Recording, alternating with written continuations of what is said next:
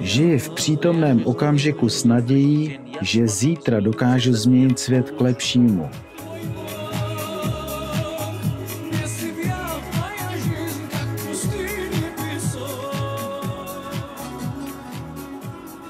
A já chci získat věčnost. Proč jsem přišel na tento svět? Nejen jako čísílko navíc 7 miliard 500 milionů a plus jeden. To jsem já? Ne. Lidi spojuje spousta věcí. A to hlavní z nich, to nejdůležitější, je láska.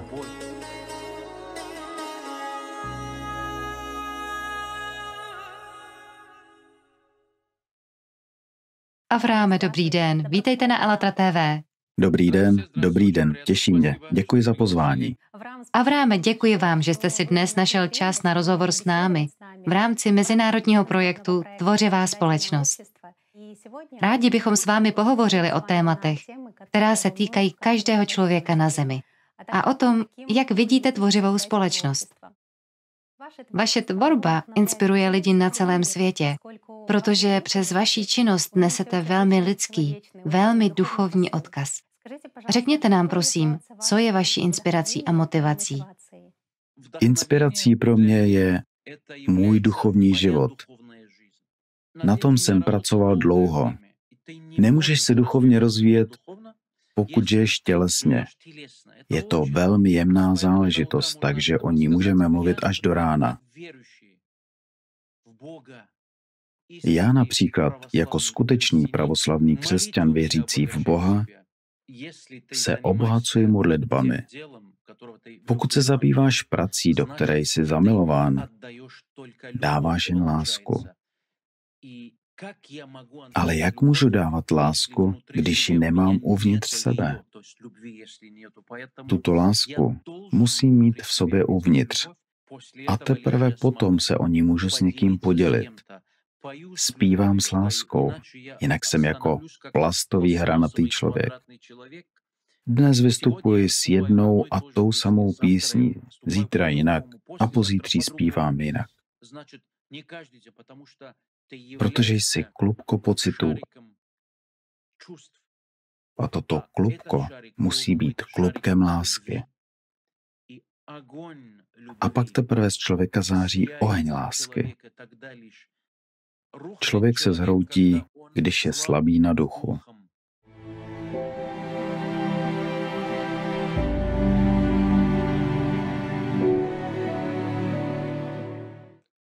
Velmi často říkají, je to inteligentní člověk, znalý člověk, vzdělaný člověk. Ale všechno, co se o člověku říká, má svou tečku, tedy konec. Když říkáte moudrý člověk, pak má nekonečnost. Moudrost nemá hranice, ale vědění je ohraničené. Velcí filozofové mají na konci knihy tečku. Kniha skončila, to jest jeho vědomosti mají hranice, ale moudrost dostáváme od samotného Pána Boha, takže pokud budeme žít těmito pojmy, pochopíme, pro co jsme se narodili. Pokud jsem pochopil, pro co jsem se narodil, už jsem udělal velikánský krok v tomto životě. To znamená, že chápu, proč jsem se narodil. Často se ptáš, bohužel většinou ženské poloviny, našeho milovaného něžného pohlaví. Pro co ses narodila? Řekne, abych mohla porodit a pokračovat v lidském rodu a tak dále. Nelze se omezovat. Nelze omezovat neomezené. Pokud žijeme s Bohem, znamená to, že spolu s ním jsme bez hranic. Pokud se omezuji, vracím se zpět do krabice a to je konec. Řeknu vám nyní stručně. Před čtyřmi týdny mi volal bratranec. Řekl mi o svých plánech. Je o 10-15 let starší než já. No na tom nezáleží. A zve mě s maminkou s mojí rodinou. Přijeď v létě, postavil jsem v Libanonu velký dům. Řekl mi o svých plánech. O týden později se mu udělá špatně. Jde do nemocnice a za dva nebo tři týdny umírá. Co řekneš teď? Kde jsou tvé plány? Kde je tvá kariéra? Kde je tvůj růst? Ušetřil si peníze, postavil dům, ale to neznamená, že to musíme brát doslova. Ne, musíme pracovat, musíme to všechno udělat, ale vždycky si nechte prostor. Ano, a jak se říká, pokud žiješ pozemským a pozemská je pro tebe na prvním místě, pak v tomto světě i zůstaneš. A pokud žiješ duchovním, získáš život věčný. Na 100%. Amen. Správně. Víte, Bůh je duch. A duchu může rozumět pouze duch. Pokud nemáš ducha, no takových je ve světě spousta, můžou to být i mý nejbližší lidé, přátelé i příbuzní. Většina z nich bohužel hledá něco hmatatelného, něco, co lze ohmatat. Čili pokud si to mohu ohmatat prsty, vím, co to je, pocituji to. Zde držím sklenici. Znamená to, že je vše v pořádku. Co mi to tu povídáte, začnou říkat o jakémsi bohu, o nějaké energii, nějaké síle. Neznám to, nechápu. Dej mi to, co si můžu ohmatat. A kde jsou ty vaše sliby? Kde jsou? Ukaž mi. Co potom člověku řekneš? Řekneš, ty, ty můj drahý příteli, můj drahý bratře, ty už si kopal pro sebe, ty už jsi mrtvý. Protože tvé zájmy jsou zde, před nosem. Teď dostaneš. Ale já chci získat věčnost. Proč jsem přišel na tento svět? Nejen tak jako čísilko navíc 7 miliard 500 milionů a plus jeden. To jsem já. Ne. Chápete? Ano. To, o čem mluvíte, zní velmi blízce. Vždyť lidé skutečně od počátku věků věděli, že hlavním smyslem života je právě dosažení věčného života. V různých náboženstvích se tomu říkalo různě. Někdy je cílem života stát se andělem, věčnou duchovní bytostí, ale lidé o tom věděli i dříve. Je ovšem škoda, že v našem spotřebitelském formátu současné společnosti to jaksi není kultivováno od dětství. Zapomněli jsme na to. Zároveň však je vše v rukou samotných lidí. Znalosti přece jsou. Je třeba hluboce pochopit, proč by měl člověk skutečně pochopit pravdu. Protože pravda je jedna a pravdu má Bůh. Proto máme být rozumnými, mírnými a nekomplikovanými lidmi. Když začínáš učit naše děti a lidi kolem nás, že musíme být tvrdí, musíme být cíle vědomí, jít ku předu, čili stanovit si cíl a jít až do samého konce za každou cenu. Je to směšné. Kde je vše prosté, tam potkáš anděla posté, avšak kde vládne složitost, tam anděl nezvaný je host. To znamená, že ani anděle nebudou stát tam, kde je vše komplikováno. Lstiví a obratní neuniknou božímu soudu.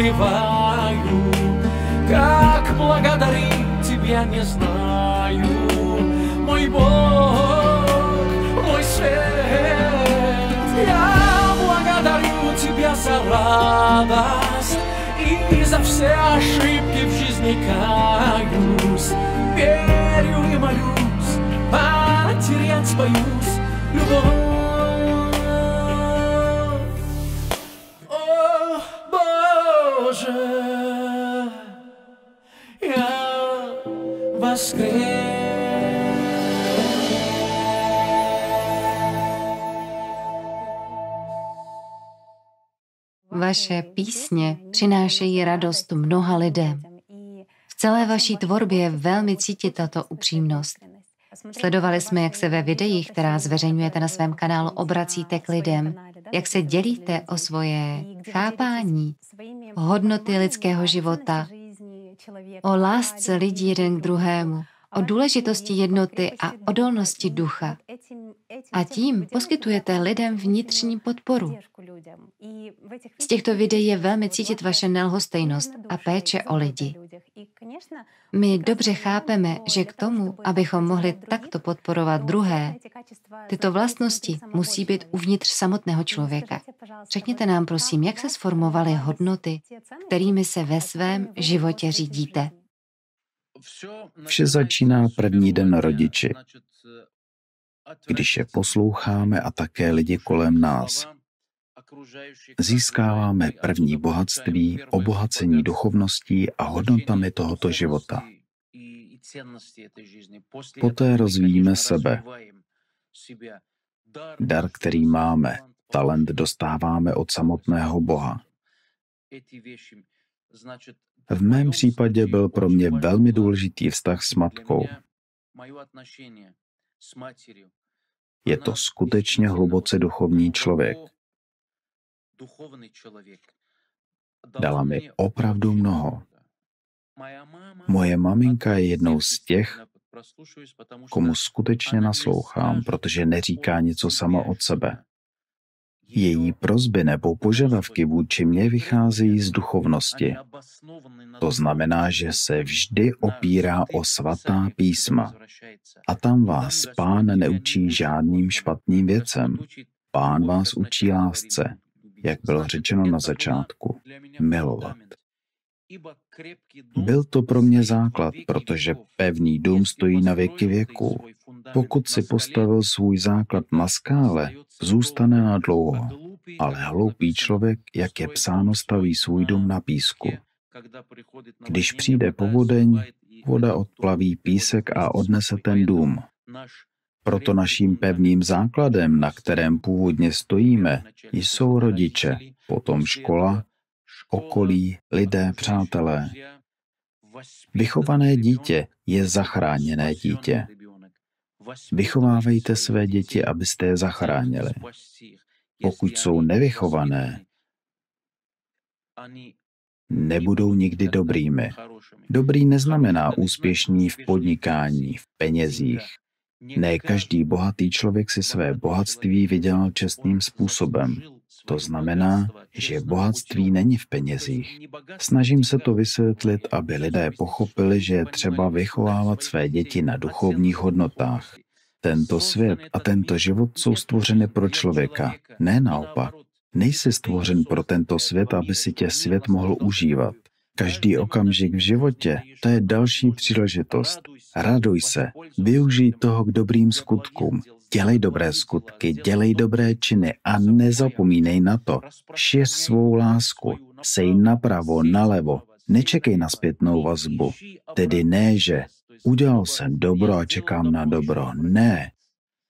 Udělal si to, co jsi musel, ať dopředu. Neohlížej se. Včerejšek zůstal někde za námi, kde si v paměti. Žij v přítomnosti s nadějí, že zítra budu moct změnit tento svět k lepšímu. Nehledej výhody, když se seznamuješ s lidmi. Nehledej v nich výhody. Dávej, dávej. Když budu hledat záminku něco jako, proč bych to měl dělat, proč bych mu měl udělat dobře. Toto slyším. Prostě nevyprávím o sobě. Každý boží den, co z toho mám já. Kdy jsou tvé dobré skutky, dobré záměry? Proč se říká, nikdo nikomu nic nedluží? Slyším v ruštině taková přísloví, ze kterých mi je smutno a chce se mi plakat. Dobrota pochází od Boha. Proč Bůh potřeboval stvořit člověka? Tak jako tak nás nepotřebuje. My ho potřebujeme. V podstatě. Víte, co od nás potřebuje Bůh? Pouze naši lásku a náš vzájemný vztah jednoho k druhému. Chápete? To nás také dělá šťastnými. Stejně tak mám radost, když se dívám na své děti. Žijí s láskou mezi sebou. Když není láska, víte, kolik je mezi bratry problémů kvůli dědictví, kvůli nějakým nesmyslům, které nestojí ani za přemýšlení. Proto se stalo těžkým žít. Já nevím, jak to bylo dříve. Mluvím o tom, jak je to teď. Možná před tisíci lety to bylo jinak, ale nemyslím si, že to bylo vždycky špatné nebo dobré. Všechno je v našich rukou. My jsme všechno zničili a můžeme budovat a měnit mrtvé v živé. V podstatě my za to všechno můžeme sami. Člověk si za to může sám, protože nevyužívá svých možností, protože se omezuje. Kdyby každý z nás využíval svých schopností a každý by dělal to, co od nás Bůh vyžaduje, jako otec, který miluje svého syna, Kdyby to po mně otec požadoval, splnil bych jeho vůli a dnes by mezi námi nebyly všechny tyto problémy. Vy to vidíte po svém. Vytvořili jste určitou síť, organizaci, kanál, řekněme, světovou komunitu. Tito lidé spolu komunikují. Přál bych si, aby udělejme tento svět lepším místem, abychom zachránili svět.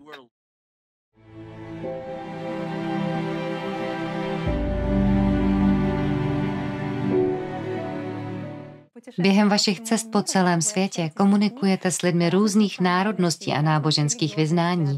Mluvíte 13 jazyky. Na základě vašich životních zkušeností, co myslíte, co sjednocuje všechny lidi vnitřně? Právě vnitřně bez ohledu na náboženství, národnost a sociální postavení. Co sjednocuje všechny lidi? Že nás stvořil jeden Bůh, to je jisté. A lidé jsou všichni stejní. To, co nás spojuje, je nebe. Kráčíme pod jedním nebem. Nebem nad planetou Zemí. Když je tento dům společný, je tato planeta Země společná nám všem, to znamená, máme společný zájem. Když je dobře vám, je dobře i mně. Je vám špatně, mně je špatně také. Čili oběma je špatně. Jaký je tedy smysl takového života, když se snažím vám ublížit? Znamená to, že zároveň ubližuju sobě? Spojuje nás tato země, spojí nás společné zájmy, světové zájmy. Lidi spojuje mnoho věcí a to nejdůležitější, to hlavní, co stojí v čele toho všeho, je láska. Pokud není láska, nemáme nic společného. Vy máte své vlastní zájmy, já mám své zájmy. Pokud to pochopíme, to znamená, že jsme náš problém vyřešili.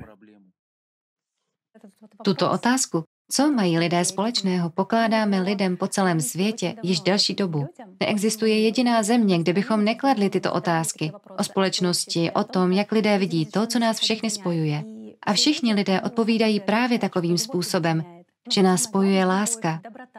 Nejdůležitější je láska, dobrota a lidskost. Víme, že všichni lidé ve skutečnosti tíhnou k dobru a chtějí, aby byl ve světě mír. Co si myslíte, proč navzdory tomu, že pravda je jedna a je uvnitř nás, máme ve světě to, co máme v současnosti, tedy války, násilí a konflikty? Existují zájmy, boje, střety zájmů. Obrovský konflikt. Chci být první, chci být nejlepší, chci být silnější, chci být bohatší, chci, chci, chci. Tento chtíč je jednou z hlavních příčin velkých konfliktů ve světě.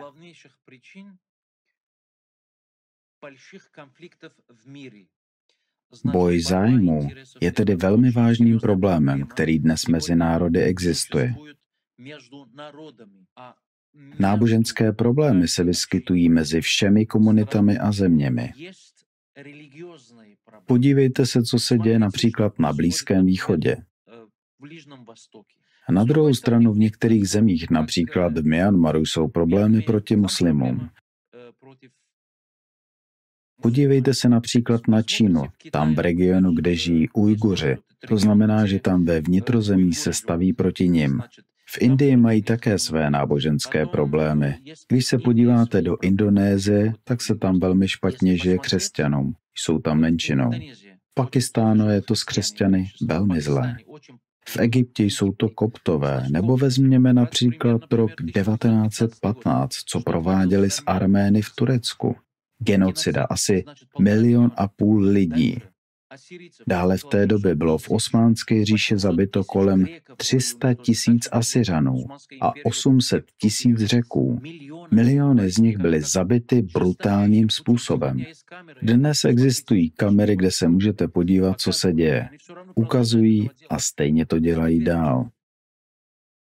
Nyní všechny ty genocidy, všechny ty problémy, například židé, co udělal Hitler ve 40. letech, je jasné, že je to jen částečně spojeno s náboženstvím, protože Hitler v tomto ohledu nebyl nábožensky založený člověk. Je to jednoduše proti národu, proti lidem. Většinou tedy lidi zabíjejí kvůli jejich národnosti, jako v Africe. Neboli otázka národnosti člověka, jeho původu, nebo je to nábožensky podloženo.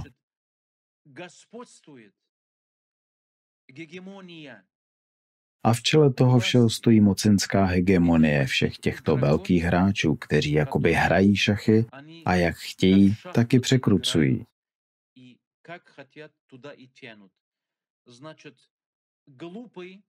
Čili hloupý člověk je slabým člověkem.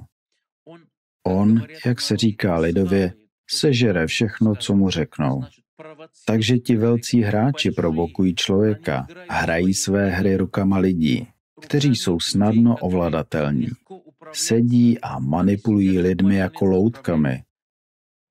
A nejdůležitější zbraní v jejich rukou je náboženství.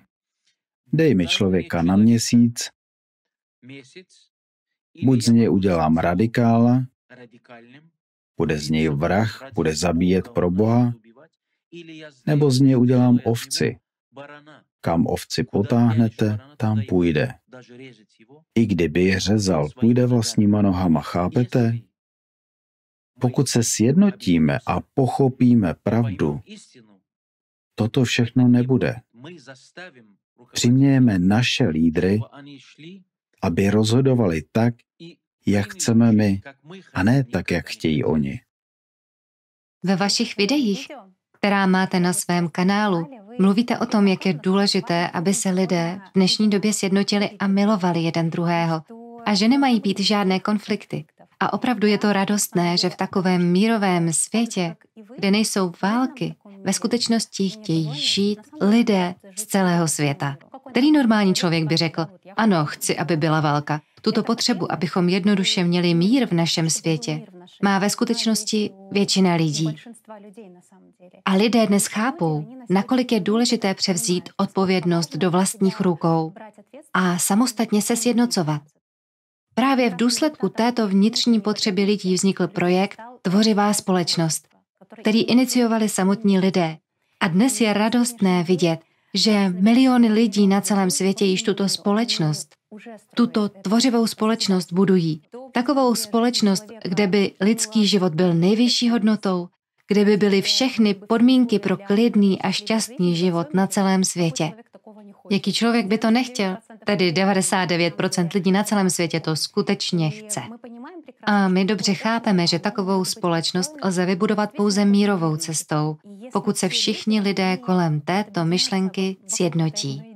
Samozřejmě, aby se to podařilo, potřebujeme především aby lidé spolu hovořili o tom, jak si tuto společnost představují a právě proto nyní lidé na celém světě mluví o tom, v jaké společnosti by chtěli žít.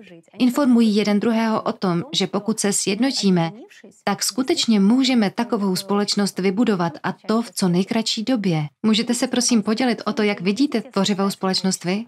Je třeba se vždy snažit. Jak říká hospodin, modli se, ale dále, jestli tebe uslyším nebo ne, to je již moje věc. Musíme i nadále milovat. Jaký svět bychom si měli vytvořit, abychom v něm žili pohodlně? Můžu vytvořit jen svůj svět a zvát do něj své blízké, kteří žijí se mnou. To je především moje rodina. Cizí lidi tam nemám jak pustit, protože oni sami nepřijdou. Čili pro některé lidi jsem se spolu s duchovností stal spíše nudným, nezajímavým člověkem. Sedíš s lidmi u stolu, trochu povídáš, nemůžeš být cizí. Je třeba se přizpůsobit tomu, o čem mluví. Je třeba se těmto rozhovorům přizpůsobit.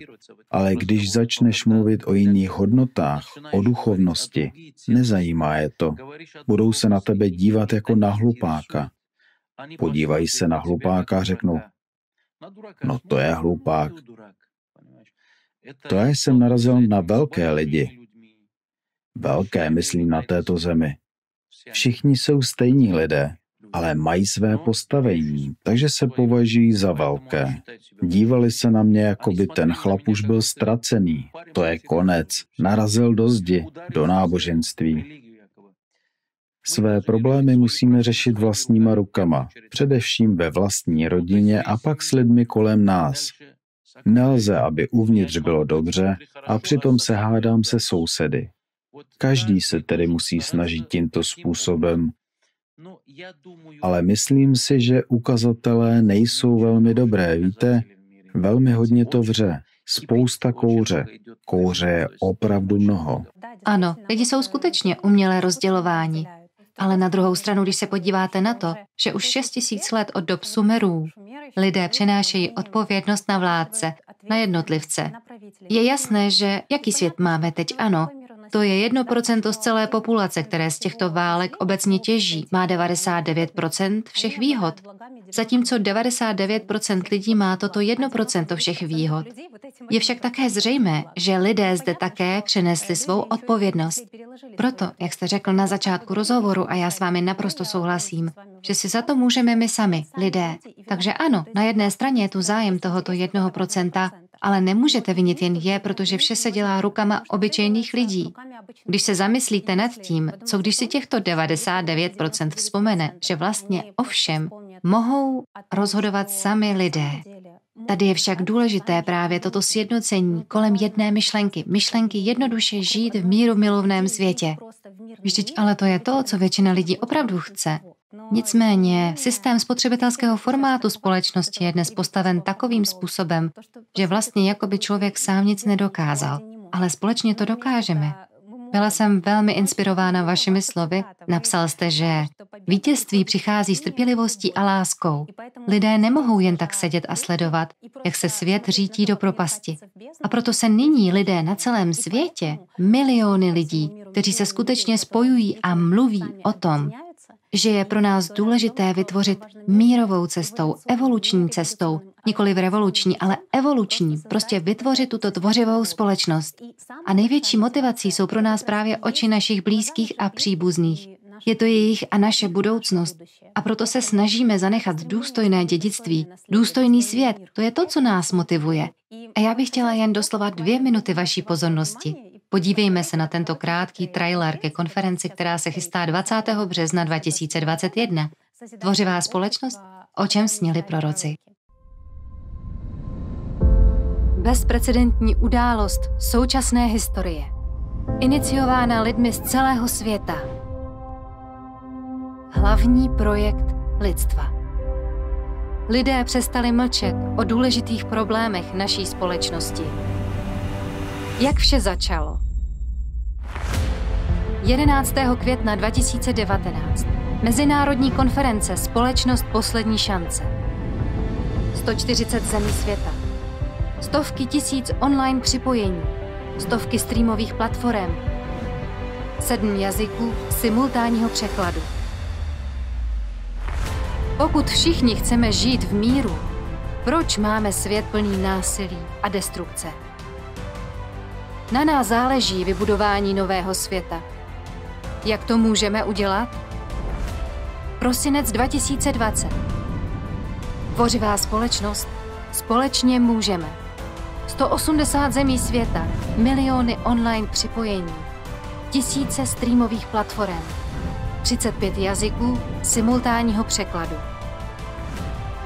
Lidé vyjádřili realitu dneška a řekli, co ve skutečnosti chtějí. A to je tvořivá společnost. Ve všech kulturách existuje obraz ideálního světa, ve kterém lidé chtějí žít. To je svět, o kterém mluvili proroci. Přišel čas, kdy to můžeme uskutečnit. Jak využijeme tuto šanci? Pojďme se sejít 20.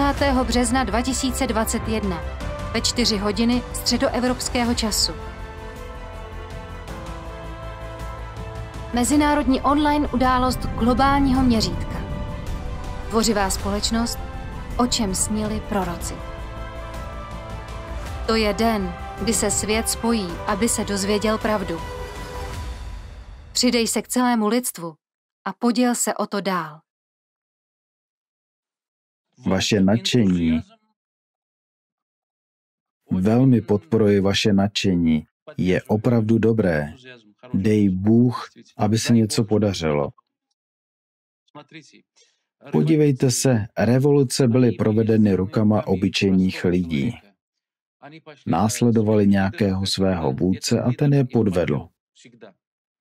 To znamená, že vše si bohužel vytváříme sami. A když říkáte, že to bylo od dob Babylonu a těch dob, které obvinujeme, tak to bylo vždycky, protože člověk si vždycky zvykl následovat vůdce. Potřebujeme dobrého, správného, zodpovědného. Chápete, v naší historii jich není mnoho.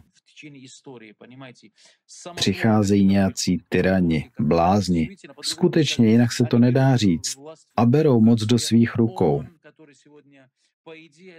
OSN měla být velkolepým projektem, ale dnes se z nich stal klub trapných lidí, kteří o ničem nerozhodují.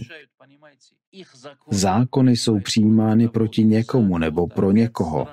Pět zemí zasedne, vetuje a je rozhodnuto. Kde je v OSN spravedlnost, když celý klub ovládá pět zemí? Co si myslíte? A všechny organizace nemohou dovést do konce svůj záměr. Podívejte se, co se děje v církvi. Církev je rozdělena. Ukrajinská církev je nyní rozdělena na tři části. Mluvím o pravoslavné církvi, rozumíte? A v Americe je 10 tisíc denominací a všechny se nazývají křesťanství. Protestanti, pátá, desátá. V 19. století se objevili mormoni a rozjelo se to. Myslíte si, že můžeme tento proud zastavit? Může se jen vybudovat něco nového. Upřímně je velmi příjemné slyšet a vidět vaše nadšení. Dej Bůh, aby vaše úsilí nakonec dosáhlo svého cíle. Vaše organizace, chápete, to je něco nového, čili jste jako novorozenci. Musíte se rozvíjet, vyvíjet, zvětšovat, abyste v každé zemi, v každém městě měli pobočku a partu lidí, kteří to dělají. Vy to děláte a já prostě nevím. Poskytuji rozhovor a pak vaše dobré skutky předám do rukou hospodina, aby hospodin pomohl. Nezapomínejte však, že každé slovo napsané hospodinem, ústy a rukama proroků v knize proroctví, ať se splní až do konce. Nebesa už neuvidíme, celý svět se obrátí vzhůru nohama. Ale není ani jediného slova z toho, co řekl hospodin, které by se nesplnilo. Vše, do posledního slova každé jeho proroctví se splní. Říkala jste, co chtěli a psali proroci. Znám všechny proroky, kteří byli, falešné i skutečné. Podívejte se, o čem psali. O vůli hospodina na zemi. O tom, jaká byla jeho vůle. Rozumíte? Dáli Bůh, podaří se. Tato vaše iniciativa mě velmi dojala. Informujte mě o tom, Určitě. co se s projektem děje. Co byste popřál všem divákům Alatra TV, všem účastníkům mezinárodního projektu Tvořivá společnost? Sjednocujte se. Vždy mějte na paměti, jsme spolu a spolu jsme síla. Jedna ruka nemůže tleskat a jedna ruka se nemůže umít. Je potřeba druhá ruka. Jedna ruka mi je druhou, jak se říká. Naše síla je ve sjednocení a nemůžeme být jednotní, pokud si nerozumíme. Pokud mezi dvěma rukama není znamenko srdce, to znamená této lásky. Byli jsme stvořeni k jedinému účelu. Sdílet tuto radost, toto štěstí, tento život, tento svět společně. Nikdo nesní víc, než může. Ať už je můj apetit sebevětší nebo moje chamtivost sebevětší, nemůžu sníst víc, než na co mám nárok. Takže na co máte nárok, to dostanete. Na co mám nárok, to dostanu. Jaký pak smysl má konflikt? Když se podíváte jeden na druhého, máme uvidět sami sebe. Já mám uvidět tebe ve mně a ty musíš uvidět mě v sobě. Teprve pak si můžeme navzájem porozumět. Takže já nebudu upřednostňovat své zájmy a ty své. Je to jako jízda autem. Všichni spěchají, všichni se chtějí dostat dopředu, ale ostatní také někam spěchají, takže jim musím ustoupit. Uvolněte jeden druhému cestu v životě. Dejte nové generaci příležitost něčeho dosáhnout, protože dnešní nová generace, oni jsou architekti zítřka. Na čem bude zítřek stát?